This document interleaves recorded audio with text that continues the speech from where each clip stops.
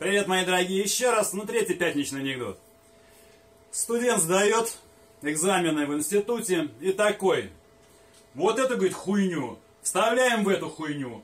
А эту хуйню в эту. И получается вот эта хуйня. Препод такой восторженно берет зачетку и пишет. Заебись. Все, ребят, здоровья и процветания, не уходите, сейчас будет последний.